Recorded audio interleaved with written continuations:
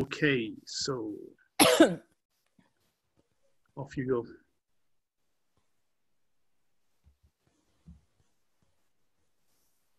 All right, everybody. So here we are. Though we're a minute away from kickoff today.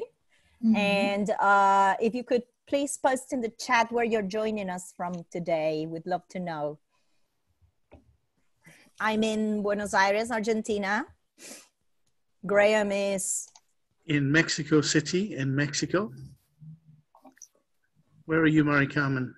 I am in Coventry, in the UK, England. Um, and Heike? And how about you, Heike? I'm in Germany, in Heidelberg. Okay. And where is Mystery Pooch from? Mystery Pooch is in Never Never Land. All right.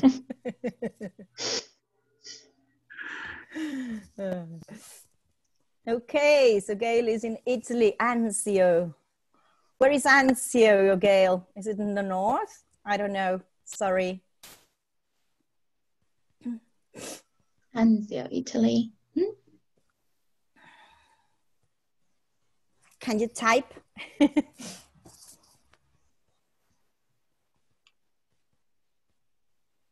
Question is, so would you like people to still unmute? No, no. Okay, because I've. I would uh, say no. We have no, disabled we'll... the unmute button for until the question and answers. Is that okay, everyone? Yeah. If you yeah, want to I... be, if you want to be speaking, raise your hand. You can do this, you know, in, in Zoom with this raise hand button, which we don't mm-hmm. have now, is it? Yeah, anyway, but I think I think Heike Maricarmen will will be presenting and then she'll be asking people to use the chat box yeah. to respond to some questions. And then at the end of the presentation, Maricarmen, you'll be um, asking people if they want to yeah. ask questions using voice. And that's mm-hmm. when we can have, we can unmute people. So Excellent. I'm going to go ahead and introduce you, Maricarmen. Go ahead. Okay. okay, uh, before you do, sorry, before you do okay. that, I want sorry, to do the Vicky. formal, the formal welcome. Welcome everybody to our LTSIG Fridays, uh, uh, which is probably the last LTSIG Friday because we are probably going to move events to uh, the weekend uh, because some people are going back to classes, to formal classes, uh, and not being at home. So uh, we might have to change um, to weekends. Okay, but you'll know in advance. We also we are also moving to a monthly uh, webinar with LTSIG instead of every Friday. Uh, I'm Vicky Saumell. I'm uh, the LTSIG Joint Coordinator, and uh, we are really happy to have you all here. Um, Graham, our newsletter editor, is going to introduce Maricarmen's session today. Thank you, Vicky. Um, I'm very happy that Maricarmen was able to join us today for this presentation on reflections on video remote teaching in challenging circumstances. Uh, before I hand over to her, let me just introduce her. Um, Maricarmen Gamero is a PhD candidate and associate tutor at the University of Warwick where she also teaches Spanish and English language courses to undergraduate and graduate students and short training courses to visiting language teachers. She's worked as an online and on-site teacher trainer and language teacher in Venezuela since 2008. Her main research interest is teacher education in video remote teaching, and she runs her own Facebook page and YouTube channel. For mm -hmm. the mm-hmm. links, go and see the uh, IATEFL LT-SIG uh, webpage um, titled E-Educritical, in which mm-hmm. she shares online tools, reflections, and interviews on online teaching and learning. Now, I was very fortunate at the IATEFL con- conference, not this year because it has been deferred, but the year before, mm-hmm. to see Maricarmen speak about remote teaching and found uh, she had lots of uh, very interesting, fascinating insights uh, into this through her work. So I'm very much looking forward to this, and I hope that you all enjoy uh, it too. Over to you, Maricarmen. Well, thank you very much. Um, thank you everyone for being here. It's a pleasure to see you all here. I can see some familiar names. And thank you very much for the lovely introduction. I feel really flattered by that introduction. Uh, now I'm going to share uh, mm. my presentation and please feel free to write any comment or any question in the chat box. I'm going to try to, I'm going to try to address them um, maybe I'm on the slides when I'm checking the slides or presenting them. And of course, at the end, if you have any question and you would like to say something, you can activate your microphone at the end of the presentation. So as you can see, um, I'm going to be talking about reflections on video remote teaching in challenging circumstances. Um, and in this case, I want to highlight that this is not like the definite truth because there is no definite truth, uh, real truth. This is just one aspect coming from my own experience as a remote teacher and experiences of the teachers I'm working with with my research. So, um, the purpose of the presentation is to create a space for reflection on video remote teaching in challenging times or challenging circumstances exchange ideas and experiences on implementation of video remote teaching, and of course, present different uses of video conferencing tools. So um, first, I wanted to um, make a difference or find similarities and differences between the terms challenging times or challenging circumstances. So um, I consider that challenging times, when we talk about challenging times, we are referring to a specific moment or a specific period of time in which there are situations in the context that are affecting the practice of the teachers. So it doesn't necessarily involve challenging circumstances. And of course, with challenging times, we kind of, we're kind of certain that it will finish, it will end at some point. So as an example of challenging times, we can say, uh, we can talk about the pandemic that we're living right now. And um, depending on the place where you are, depending on the country, and of course, depending on the system, um, the country system, you may say that there are challenging circumstances or that there are not. There aren't any.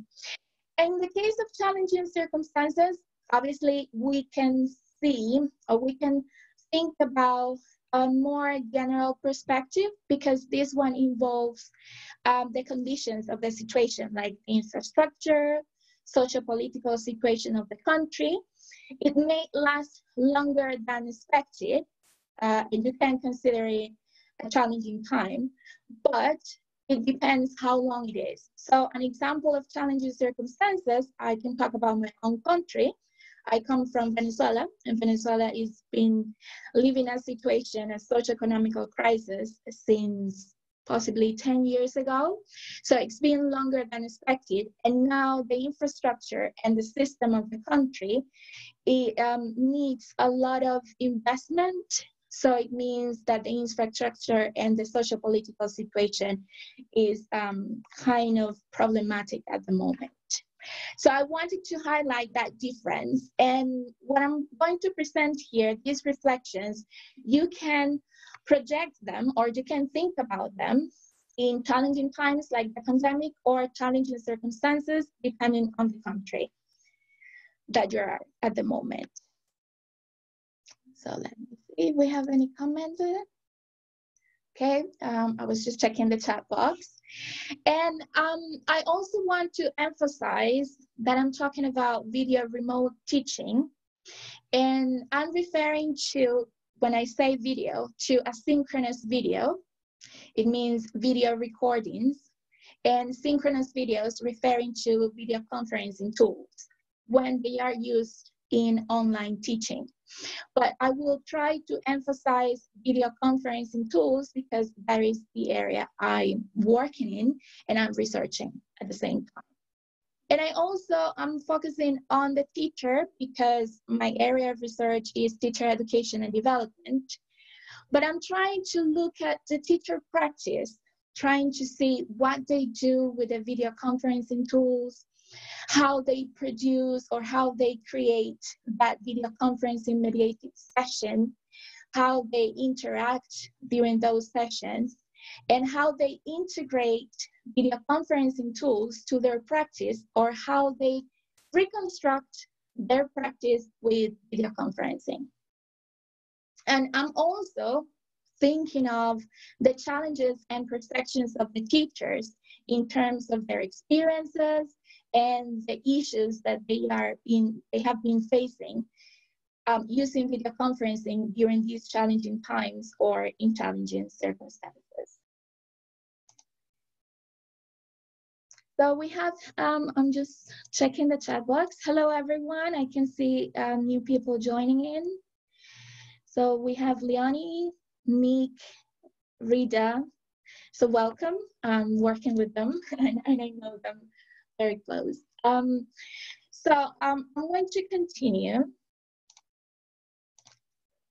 And in this case, I want you to write in the chat box um, what video conferencing tool are you using at the moment if you are teaching at the moment?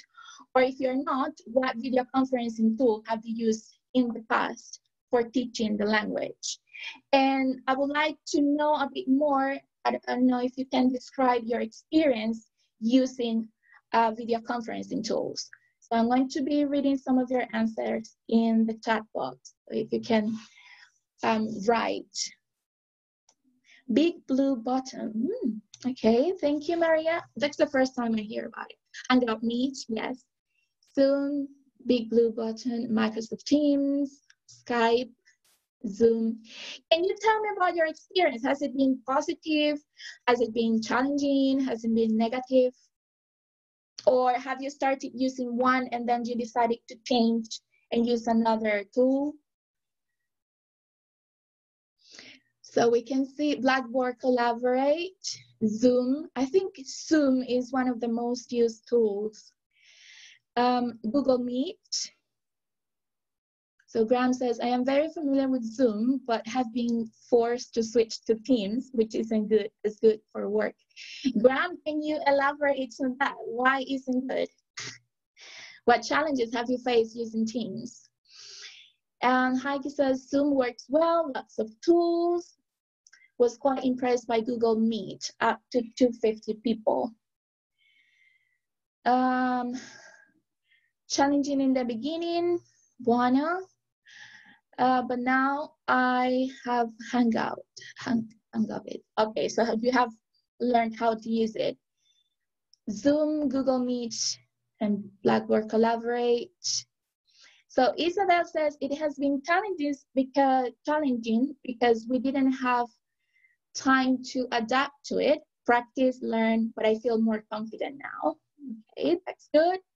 Teams is clunky, not as user friendly, especially for webinars. Yeah. So Vicky says, I think for most it was challenging as we had to learn while doing it. Yes, yes. And that is one of the things that um, have emerged in my participants um, a bit challenging since my students or mentees kind of struggle at the beginning due to the lack of technical issues. But all is set now. We have like three months to practice thanks to COVID. All right. Okay, so it means that in this case, you have been facing challenges, but you have somehow adapted to it after maybe three months of using the tool. So there has been like um, I don't know a proliferation of tools nowadays because of the pandemic the pandemic that we're living in, and of course, um, I think the tools they have been adapted like every day because they are trying to uh, win the competition and to get more users. But I know that the most liked and the most used uh, tools are Zoom, Microsoft Teams, um, Meetup, Slack, Skype, Flock, even Instagram Live, Facebook Live, Google Meet, and WhatsApp. So I'm going to give you the example of one of my participants. He has been using WhatsApp because um, um, he lives in Venezuela. So the conditions in Venezuela with the electricity and the connection, so it means he has he has to use his own data. So he prefers to use his phone because his computer um, is not in a good condition to be used for video conferencing. So he has used WhatsApp to give his classes. And well, in general, I think video conferencing is one of the um, most selected tools because it offers kind of a similar experience to on-site practices. And I mean on-site to the classroom practice. And for example, if you're using video conferencing, you can see still see the person you're talking to, and you can actually perceive nonverbal cues, for example, gaze, face expressions, movement, the movement of the eyes, for example, their reactions, and body language. And this part, and when I say body language, is when the person is showing, showing more than their face. So um, in that case, obviously this has been challenging because, um, especially for teacher agency. In most cases, especially in formal education, teachers are told what tools to use. So in that case, there is no chance for consultation or consensus, but the decisions are, the, the decision-making process is done by other people. So the teachers, they simply have to adapt to it. And in that case, um, I should mention that it is easy to judge and maybe you can say, oh, but the teacher can use any tools they like. But no, once again, they have to stick to the decision of the administration if it is in the case of formal education. Formal education, I mean when the schools or the teachers are part of an education system, government education system. So in this transitional period, in which um, technology is being integrated or the practice is being restructured in the middle of a pandemic. So there is some evidence of teacher resilience that somehow links to teacher identity. Let me move presentation. Okay, so in this case, um, the teachers, they have been resisting an external force. So it means that they have to teach because they, they must do it, even though we are in the middle of a pandemic and their own lives um, are under threat because of the virus. So they have been using adaptation strategies to cope with the situation. And that means they have been learning how to use the tool, they have been using tutorials, taking part in courses, becoming part of communities of practice to exchange ideas, and also paying attention to their um, lesson planning, considering the context that they are now teaching in. So it means that the teachers are first adopting a tool, but they, apart from adopting the tool, adopting the tool, they have to learn how to use it. And at the same time, they have to adapt their style and methodology to the tool and not the other way around. Because if we had the chance to make the decision, we could select the tool and adapt the tool to our style and methodology because there is a huge number of tools. But when that happens, so the teachers, they have to deal with the anxiety and the, the emotional instability that the students are going through and that the teachers are going through at the same time. So um, in that case, the students and the teachers' productivity um, has been affected.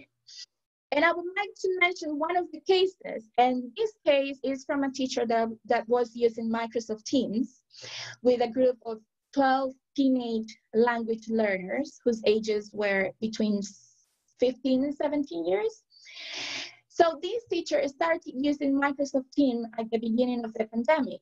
And back then, they only had the chance to see four participants so that teacher had 12 participants. So they could only see four.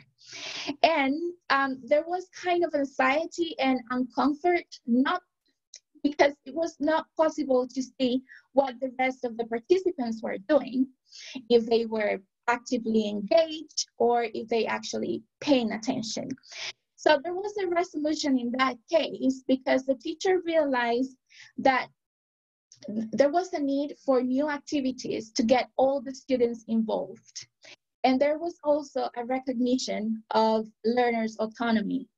And learners' autonomy is it means that the teacher realized that the learners they have the capacity or they have the agency to make the decision about their own learning process. So in that case, that resolution gave the teacher a different perspective about the teaching and learning process. Because um, so there was a shift in the role from a more, like say, controller type to a more facilitator type, considering that the students, they were the center, but the students also made the decision about what to learn and how to learn it. Okay, I'm going to check some of the comments here. Yes, you're discussing about the tools. Meetup, I didn't realize it had video conferencing tool. Good. Okay, perfect. Do you have, if, remember, if you have any question or comment, or if you feel identified with any of the things that I'm mentioning here, you can write a comment in the chat box. So I have some questions for reflection here. And in this case, I need you to write again in the chat box.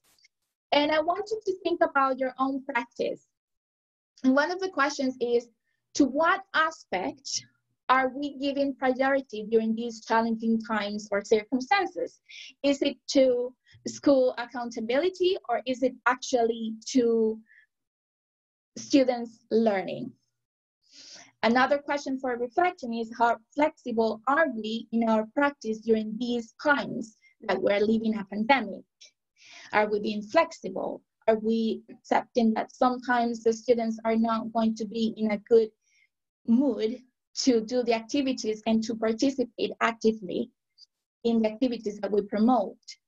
Are we offering support to our learners during this crisis? Because of course, um, this reality doesn't escape from what we're living. And sometimes the students, they need to talk about it. They need to get informed about that. And somehow we as teachers, we need to consider what's going on in the real life to talk about that in our language lessons.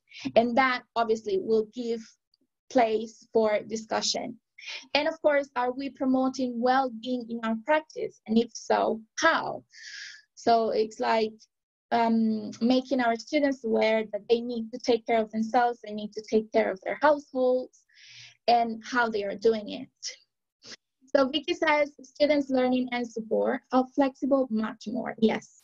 So there is a lot of teaching going on in virtual classroom, but not necessarily a lot of learning. Yeah, exactly. So it means that the priority, even though we're here focused on students learning, we are much more flexible. And I would dare to say we're much more human because now we realize that there are things that could affect a person's motivation um, and of course their, their health and the conditions they are living in. I know that there are teachers that they have had the chance to see the reality of the students' houses because um, sometimes they come from um, families that are violent or they, that they do not receive the support, the right support for their family to learn. So Graham says, if teaching young learners involving parents and dealing with expectations is very important, hopefully teachers are getting support with this from their institutions, or this will involve more stress and work for teachers. In Vicky, my school has implemented several layers of the student family support, academic, social, emotional, and technical. That's good. So it means that we're not just talking about language learning, but we are referring, we're looking at um, our students as holistic human beings, that they have feelings, that they have problems, and especially during these circumstances, we can identify more with what they are living at the moment. Okay, so um, I must say that even though um, the teachers I'm working with, and in my case, using uh, video conferencing for my lessons, um, I have faced challenges. There are opportunities in video remote teaching. And some of the opportunities that have emerged from the information I've gathered so far is that it, it kind of promotes a closer connection and I'm going to tell you why. The closer connection comes because the participants, each of the participants, including the teacher, they are at home. So it means that they are sharing an aspect of their personal life. And somehow the students and the learners, they can identify with each other. So they can find a common aspect in their relationship. So that contributes to the connection between them. Also, that connection uh, reinforces rapport, which is also um, encouraged by sharing personal experiences and showing things. So I don't know if you saw my um, orchid. So this is my personal life. I love orchids, so I'm showing it to you. So maybe if one of you likes orchids, we could talk about that later on. So you can see I'm showing you one aspect of my life. And you can see the background of my living room at the same time. So that aspect of sharing some things of our personal lives and using it as a realia for language teaching, that also contributes to language learning and to edge or establish a better relationship between students and students and students and teachers. And another opportunity is the convergence of context obviously when we talk about the normal life it means the classes in the classroom with four walls um, there is a context that comes from the curriculum. Yeah we have the curriculum and then we have the school which is another context and then we have the classroom which is another context. In this case obviously we continue working with the curriculum or the established content um, and then we have that context that is converging with the context of our homes that is also converging with the context that we create in the video conferencing room, which is another context. And in that, uh, in that space, we have access to audio and to images okay? Because at the moment you are listening to me and you can see me, so somehow I am representing an image, even though you cannot see me in person. So it's that convergence of context. So we can use that those contexts, as I told you, our personal life, our homes, and the, the space we create through the tool and take advantage of them to promote communication among the students and do activities that actually promote the participation and students' ownership of their own learning. Another opportunity is uh, the teacher as a resource. So in this case, I try to be a resource for you, talking about my orchids and showing you the flowers. Uh, but I want to give you an example. I'm working with Hands Up Project, which is an education charity, um, um, giving learning, language learning opportunities, more language learning opportunities to kids in Palestine. And Nick Bilbrough, he actually uses Facebook Live to do some of the sessions. And in that case, in this particular case, he was using, he was trying to represent or trying to perform a physical story. He's here with us I guess. So he can write a bit more about that. So in that case, um, he asked the students to create a short story at the moment. One of the students created it. So the teacher, Nick, he performed the story and he became a resource. And I'm going to show you the video. Back here.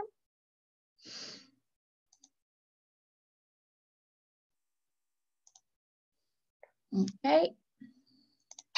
I was walking on a farm. I saw a dog. I saw a dog. What happened next?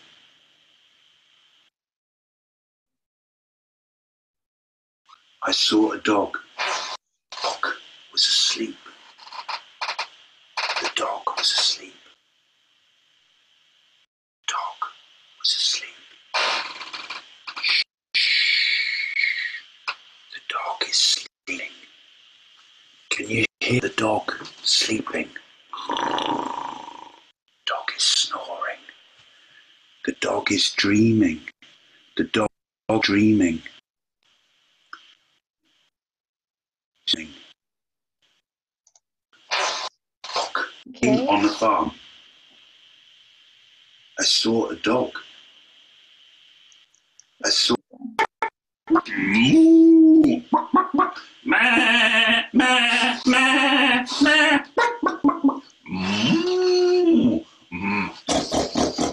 was walking on the farm. I was walking on the farm. Okay, so I'm going to share the slides again at the moment. And I would like to see your comments.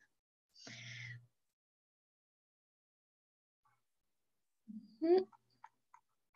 So I wanted to show you the aspect of the teacher as a resource. And in that particular case, um, as I said, Meet was using the student's language production as an example. So it means that addressing what the student did is actually praising the work that they've done. And at the same time, he was using his body language to recreate the scene, and he was taking advantage of the video frame. So, who is in the video frame? The teacher. So, he is using the resources he has available, which is his body, his um, voice, to make the movements and recreate the story. So um, some of the comments here, it says, see, I'm trying to read. Um, Isabel says, the teacher as a resource is something I research as well. That's so interesting, Maricarmen, yes. we agree on that. Uh, Graham says, you can read the interview with me and learn more about the Hands Up project, and you have the link um, in the chat box. And then Bona says, while it may sound obvious, I'm sorry if I'm mispronouncing your name. While it may sound obvious, technical problems are one of the main stumbling blocks of online training. Yes, that's true. Um, even though we are in 2020, I think this varies from countries and the conditions of the countries, but there are ways to overcome such obstacles. Um, learning from home can be lonely without the buzz of the classroom setting and the company of their peers. It's no surprise that some students can begin to feel a strong sense of isolation that slowly erodes their desire to learn. So that's why I was mentioning the aspect of the context, because obviously they are isolated. They do not have contact with their classmates, maybe just during the video conferencing call so why not using that aspect or those opportunities to create or to promote language learning or to um, design an activity that combines those aspects and make it more enjoyable for the participants. Okay, so now um, um, this is another opportunity that video remote teaching offers, and it's uh, referred to verbal interaction patterns. And I wanted to think about the verbal interaction patterns that you see in your practice. Is it um, unidirectional? It means from the teacher to the students only, or is it from the uh, unidirectional from the students, one of the students making a presentation to the teacher and the students, or do you think it's multi-directional? So I'm going to read your comments um, about that. What kind of verbal interaction patterns do you see in your sessions?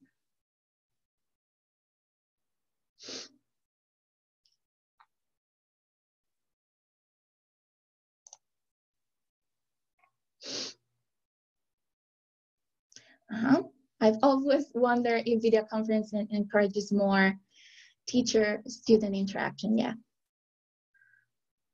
Mm-hmm. We could invite, uh, this is a question, we could invite guest speakers, native or non-native speakers to enrich the resource idea. And this would be a real opportunity of live online sessions. Yes, multi-directional. Um, Heidi, can you tell me how you do that multi-directional part? How do you make it multi-directional? Uh, Graham mentions you have to try hard to avoid a teacher-centered approach. Yes, multi-directional is more chaotic in terms of background noise. Students have learned to mute and mute themselves for more effective communication. Yes, so in that case, uh, from my participants, I have seen or have found these patterns. Obviously, teachers, students, that has to do more with lectures. At the moment, uh, I'm trying to avoid the lecture type uh, pattern because I am the only one talking. That's why I ask you questions during my presentation to see how active you are during the session. And in that way what you the comments you make i try to address them so you feel that i'm taking into account what you're saying. But that is one of the the patterns. There is another pattern which is the student making a presentation. But again it's unidirectional. Is the student just talking to the rest of the teacher and the students obviously there are these these patterns can give place to other patterns because the teacher can start the class which is unidirectional and then can promote an activity in which the students can work with each other in pairs or in groups. In my case i like the multi-directional.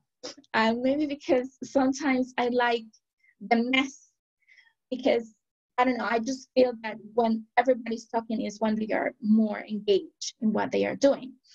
So um, in that case, I realized I did one of the activities and I was participating like a host, television host. And this activity was with the students, they were all candidates. They were applying for a job. So it was a role-playing game. They were applying for a job in a company this was with undergraduate students. And in that case, they had to realize that there was a person who was not a real candidate.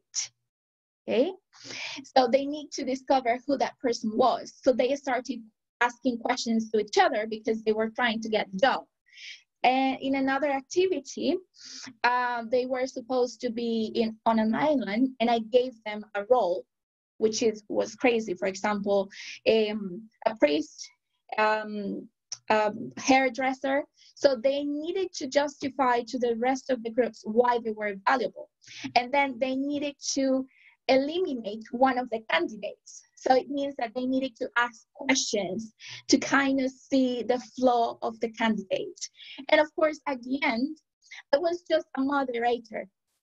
And at the end, the two left um, candidates, they needed to decide if they wanted to share their position or not without talking to each other. So it was quite, everybody was a bit um, intrigued about the answer and who was going to get the job. Sometimes none of them got it, sometimes one of them. So it varied from group to group.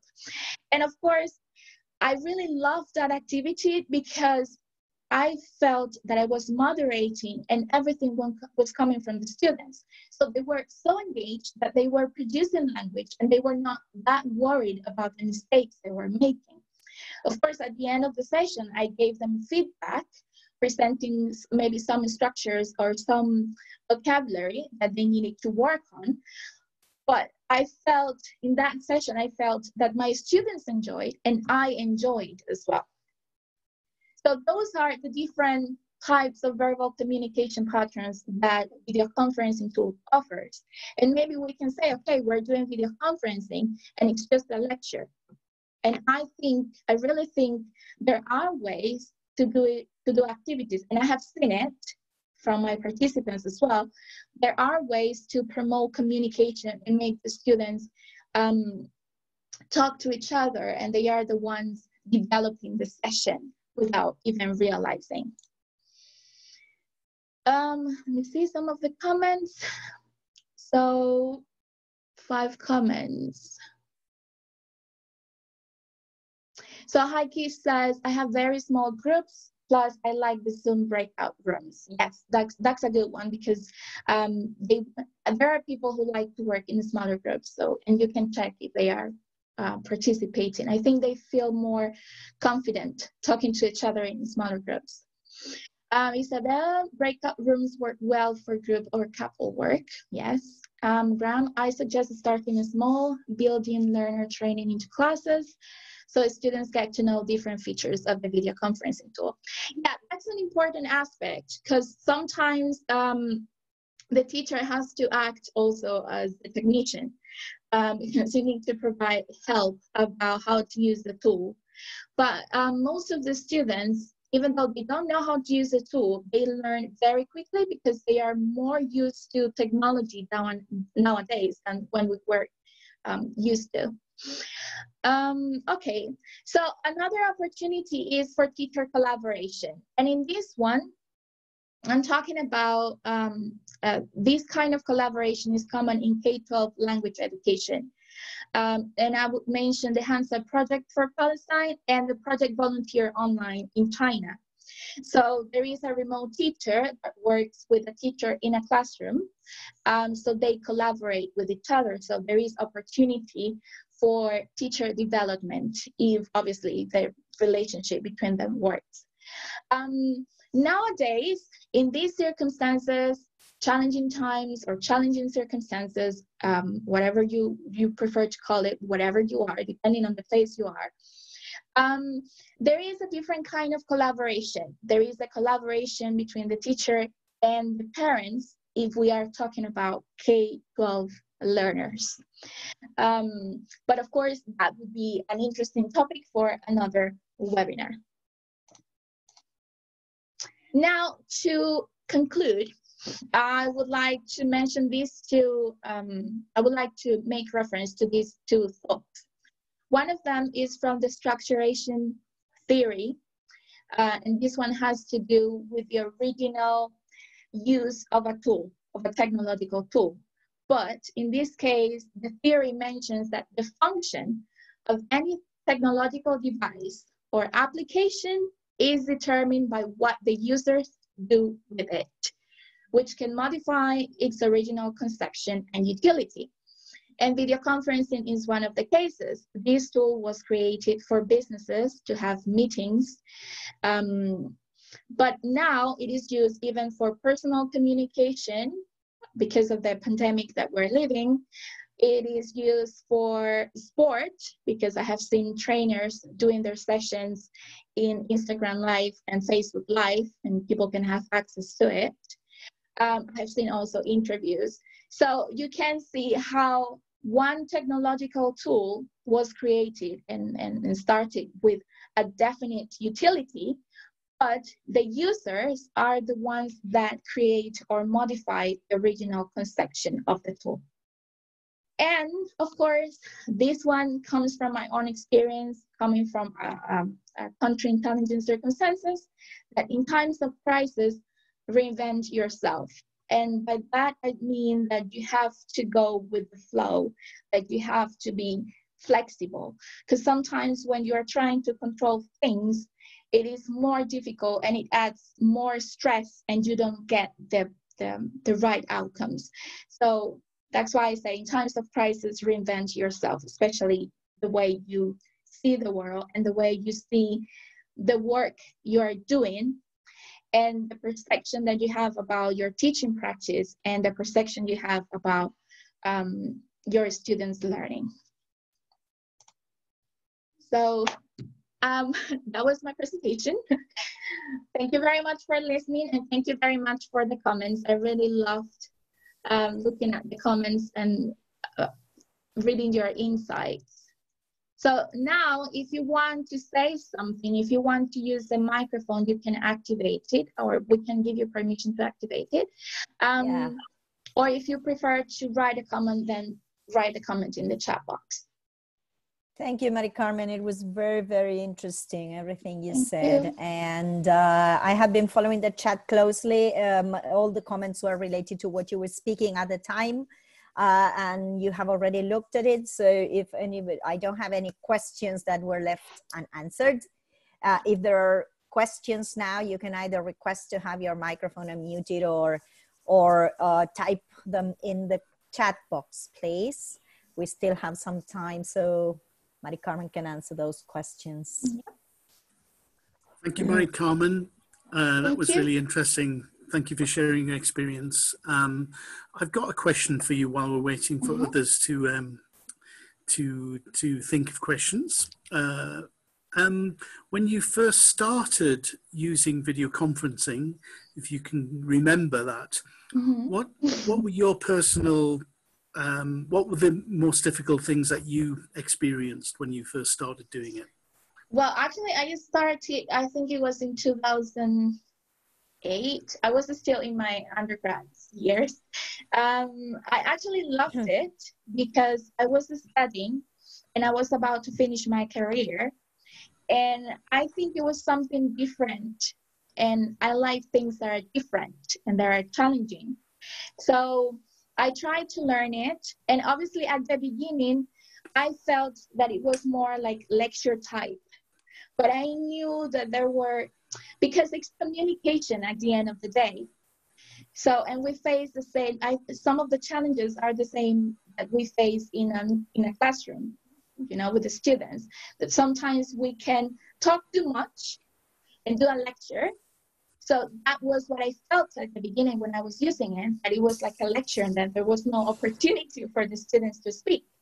But I know that there are opportunities for improvement and I think with this tool, you realize, you come to the realization that you are talking too much and that you need your students to participate more. So you realize, especially if you look at the recordings, um, there are teachers that they look at the recordings and they do reflection on it. They realize um, the things that they are doing and the things that they would like to improve. But again, I mean, I'm not judging and I think every teacher has their own style, and there are conditions as well that make you do things. So I think it depends on, on everyone's reality and, and the circumstances that they are living. Thank you. Yeah, I find that very interesting that um, I think every technology that you use tends to have an effect on, on your practice in some way. So the interactive whiteboard, for example, uh, if anyone ever used that, tended to promote a kind of teacher fronted, teacher centered approach to teaching. And you had to really fight against that to change it, as it, it tended to sort of um, get you in front of the class uh, at a board. Mm-hmm. Um, but there were ways around that. In the same way that, as you said, video conferencing, I think um, certainly when people are starting, I find that it, it tends to um, encourage a more teacher centered a- approach as well, doesn't it? Yeah. Um, I think yeah. that when you are learning something new, you start from your comfort zone. So, so for I mean, if you're starting to use video conferencing, you're going to start using something that you feel comfortable with or something that you consider it's going to be easier for you to handle. And once when once you get the confidence and you realize that you need to make changes, is when you come to realize, okay, I need to add a different um, approach to what I'm doing. Yeah. But at the I beginning, you're, right. you're learning, it's it's like, okay, I'm getting to know the tool. I'm going to do something that I know how to do, and most of the time, um, lecture type um, presentations are well known. Um, if I can share the experience where I'm working, my the school where I'm working now, which is a primary school, um, um, I think the guidance from from the, the the heads is very very important, and we have a system in place which is the combination of a learning management system to upload all the materials and uh, uh, video conferencing sessions with the students. And it has become clear from the very beginning that the objective of the uh, video sessions is to promote student interaction uh, and not to have this the teacher talking and and and and, and and so we have been using the learning management system to upload the materials that the students need to watch be- before or whatever, if you want in a kind of flipped learning uh, approach. Uh, and we have been using the class to uh, to to maximize the students' opportunities for speaking, which is what they they can't do. Okay. Yeah, yeah. Um, I actually like the idea that Grams um, presented in IATEFL last year about the escape room. But of course, it depends on the age of the, of the learners as well, because if you if we are teaching to K-12 or very young learners, it's different. And in that Absolutely. case, yeah, in that case, um, I think I, I, I, would like to mention the work of the Hands Up Project with the storytelling, because they do storytelling for young learners. So they try to use realia and they try to use the, the right vocabulary and pace for the learner's level and age.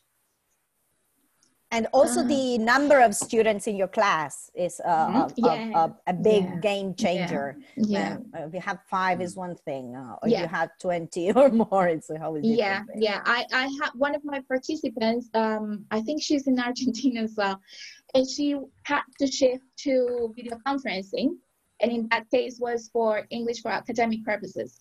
So now she has 30 participants.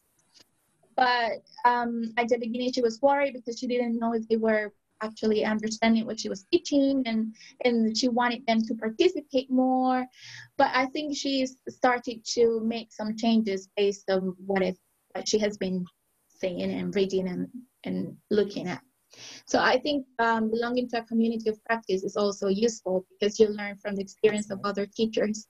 Um, and in, at the end of the day, I mean, it's not about saying that, okay, I know what I'm doing, this is what I'm doing, it's right. No, sometimes you really need to see what other people are doing, and that can give you some kind of inspiration and idea to make changes. Um, I think uh, there are some questions in the chat box. Um, Heike. How do you combat the frontal teaching mode of video conferencing and strategies? Um, well, I like the part of the role playing strategies because the students, they actually they have like an outcome that they have to get to and they have to do it. So they they participate and they talk to each other. But again it depends on the number of students you have in the video conferencing room. And also i think the idea of the escape room i really love that idea because i like games. So i prefer to use games because you are really immersed in a different reality and that makes you forget about any anxiety that you can have to make a mistake in a foreign language I really, I really like the idea of stories. More and more, um, I've yeah. started experimenting with interactive stories. So the kind of mm-hmm. things that Nick mm-hmm. and, and the Hands Up Project do. Uh, but you can do that at all levels, at all ages. And the, the benefit of that, if it's interactive, I think, uh, is that you can really um, you can really foster a lot of engagement and communication. I think if you if you have the right story, if it if it can motivate and provoke. I'd actually I'd actually like to pick you pick up pick up something you mentioned briefly, Maricarmen, mm-hmm. if I may, yeah. about uh, recording yourself. Because one of the things I find, um, I I think there are some benefits of of this form of teaching, and one of those benefits that doesn't seem so obvious at first um, is this idea of of re- making recordings of of your classes. Mm-hmm. Obviously, you need permissions in place, yeah. and you yeah. need to be very, um, you know, upfront and honest about what you're mm-hmm. going to do with those recordings, whether they're for personal reflective use for your teacher, whether you're going to share them to with colleagues, etc., mm-hmm. or or even publicly in conferences mm-hmm. or presentations. But I think the benefit of doing that is enormous. Being if you can if you can bear watching yourself um, yeah. teach or teacher training, then yeah. it's amazing what you can spot that you wouldn't mm. normally know. I mean, one of the best professional development opportunities I ever did was it wasn't an online class, but I videoed a, a young learner class that I did. Um, and then sat through it with my line manager at the time, and he yeah. just paused and started pointing out things that and and made me and my practice completely changed because of that. So I would recommend that. But also not only watching it back yourself, but if you can, um, watch it back with a colleague if you yeah. can do that or part of it, and um, and get that colleague to to give you tips and stuff. Yeah. I don't know if you've if you've done much of that. Have you? Yeah, yeah. That's actually one of the lines of my research. Um, but it's a bit risky because in that case you would have to select a critical friend who is mm. here and someone you feel comfortable with and just let's say accepting the criticism in a positive way um, yeah. So it's a bit tricky because sometimes we tend to see criticism as judgment and we feel a bit attacked. But there are ways, um, I think there is one called collaborative practice in which the other person asks you questions to make you reflect of what you did and why you did it. So in that part of what you did and why you did it, you realize what you were thinking at the moment and what was affecting you. If it was something circumstantial if it was because of the circumstance if it was because of the learner's reaction to what you were doing. So um, obviously with reflective practice because that's um, reflective practice video based reflections um, you come to a, a resolution so one of the cases that I mentioned with Microsoft Teams, and the resolution is a change that you would like to make in your practice to change that aspect. And that can give place also to professional improvement because you may feel the need to read more about a specific um, element or theme or topic related to your practice or to look for people who know how to handle that part or to look for advice. So it's like recognizing the aspects that you need to work on and then look for solutions on that. Yeah, may I may I add um, uh, because uh, we were discussing in the chat box at the same mm-hmm. time mm-hmm. this this thing about permissions to be able to record classes. Uh, when we started with the pandemic, we had permission from parents to record classes, but as as the first weeks went by, um, many families came back to us saying that the kids were really anxious and worried about the class being recorded. Mm-hmm. And uh, so they were not themselves really. And so we stopped recording yeah. altogether. So sometimes it's uh, it, it, goes beyond the idea of permission. It's like yeah. the, the, flow yeah. of the class is kind of altered when they know mm. it's being recorded. Yeah, yeah. It's quite interesting, isn't it? I think I know, for example, uh, a university that does before the pandemic did a lot of online teaching uh, mm-hmm. and um, they have it written that all of their classes are recorded every mm. single one mm. and all the teachers and students before taking the courses uh, have to have to agree to that um, and the reason for the recordings is partly it's what what the recordings are used for professional development. So they pick mm. out moments of good practice to share with other people. Um, but also they use the recordings as a way of um, almost of controlling quality and actually observing teachers. So instead of having normal observations, an observer would actually look at pick at random a class and mm. observe mm. just yeah. to just to make sure that everything is okay and also then to give uh, feedback to the teacher involved. Um, you know, I think that's quite an interesting thing. But there is this idea of, you know, both this anxiety effect of, yeah. of the teacher. If, if that, uh, the first thing that struck me was that the teacher must feel under constant observation if all mm-hmm. of the mm-hmm. classes are oh, yes. are being recorded uh, mm-hmm. there must mm-hmm. be an extra level of stress yeah. but also as you said vicky i think it's quite interesting the effect that it has on the students if they feel yeah. that everything they do is being recorded mm-hmm. so i'm i'm in two minds about it i can see the benefits yeah. but i also see that it could cause a lot of uh, stress and anxiety yeah so um just picking up uh, what vicky mentioned about the consent yes um, obviously, when you're working with K-12 or younger learners, you need to get the consent from the parents who are the legal guardians. But you also need to consider that the students have a voice, whatever the age they have. Yeah. So it means you can get the, the legal consent from the parents, but you need to inform the learners and you can you yeah. should ask them if they agree with participating in a session that is going to be recorded and making sure I mean informing them what you're going to use the video for. Yeah. And I think that's one mm-hmm. of the things that strike people. That, okay, what are you going to do with that video? Are you going to show it in social media? Are you going to show it on TV? Um, obviously, you can find people who say, oh, I would like to be in social media for people to see me, but there are people who do not like that. So, mm. making sure what you're going to be using the video for and informing the participants what it is for. If you say that it's for, for professional development, and it's only you, the one who's going to watch the recording, I think that reduces a bit the anxiety from the people yeah. who are going to participate in the session.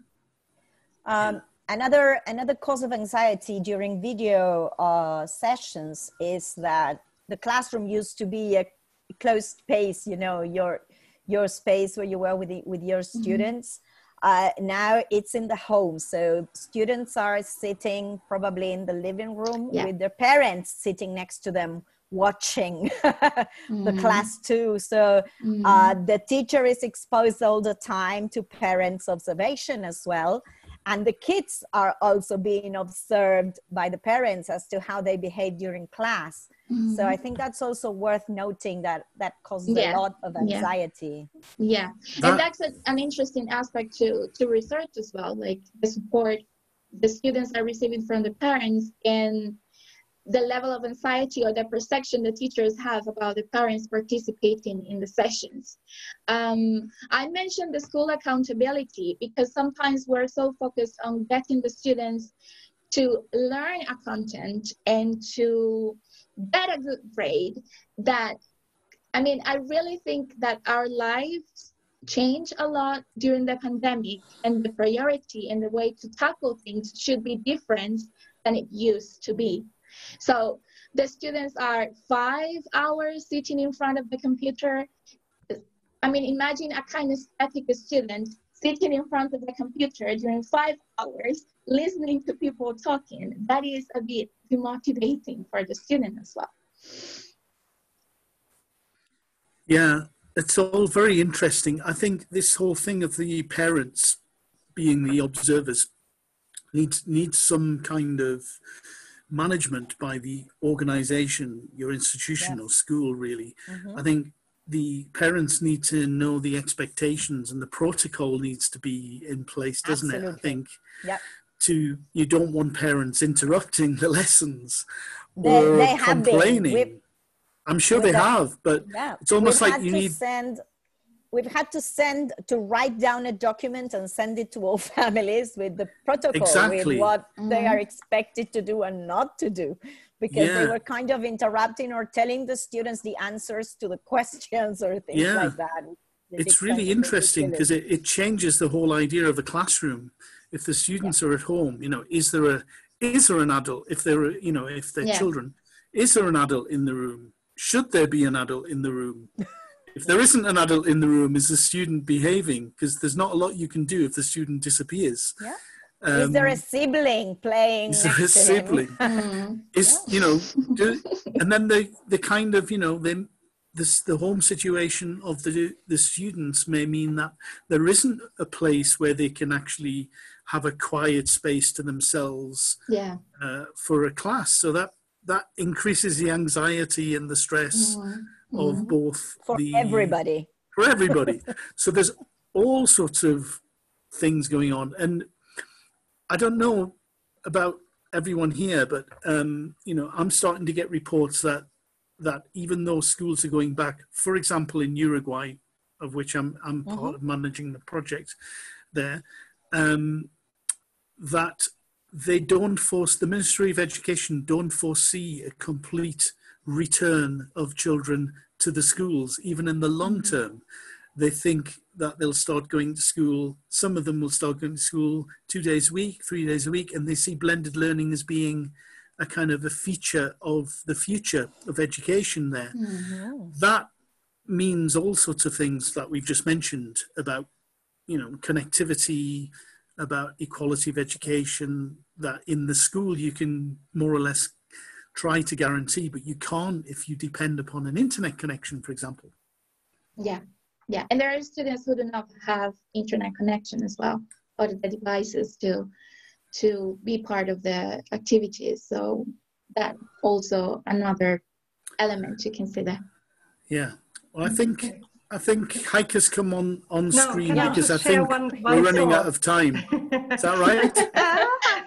I'm not. I'm not the timekeeper. That's okay. Oh, I but thought I you like were. To Heike. just share one thought, uh, which I've been put to, because uh, right now there's a lot of talk about um, investing in order to get the economy back online, and um, I kind of heard that um, a lot, a lot of money or a lot of investors are looking to uh, professionalize this live online teaching in such a way that there will be likely a lot of funds available for teacher training because the teachers have had to cope with this situation without any training whatsoever. But now, as we are going into a settling phase and long term uh, school projects in that way, yeah. um, there's a real opportunity for professional teacher training on a larger scale, even getting teachers together in live online settings to to share best practice and i think it's wonderful Maricarmen that you mentioned all of this just now it has been such a delight from a teacher who's practicing it and also from somebody who's observing others and Graham, your thought about um, self-reflection on the recordings is just fabulous. Thank you so much. Oh, thank you very much, Heike. I didn't want yeah. to, to do the closing word. The closing word is over to Vicky. yeah, before, before, before we hand over to Vicky, let me just thank you, Maricarmen, for this uh, presentation and the discussion afterwards. I think it's been really interesting. Uh, so yeah. thank you very much for for doing that. Um, um, I'll now hand over to Vicky so she can say the final words and then we'll stop the recording. My final words there. Thank you, Maricarmen, so much for this session. I think it was food for thought for everybody on, on the current uh, challenging times and circumstances in many cases. Mm-hmm. And uh, so thank you from LT-SIG for agreeing to do this. Uh, recording will be available very soon. Um, and uh, uh, be alert for uh, our next webinar, which hasn't been confirmed yet. Watch thank you. Space. Well, thank you very much. It's been, it has been lovely, and I really enjoy exchanging these these reflections and ideas. And actually, it's also food for thought for me because I learn from what other people comment and their perspective. So I think I'm going to write something by now before I forget it. So thank you very much. And thank you very much for the invitation. Okay, okay, so everybody, if you want to come on camera and give a big round of applause to Maricarmen and uh, thank her for this session. And thank you. thank you. Thank you. Thank you. good to see. It's good to see so many familiar faces that are coming back again and again every Friday. So thank you for being here with us. Thank you. Thank you, everybody. I'm going to stop the recording now. okay, Nick, we know you're there.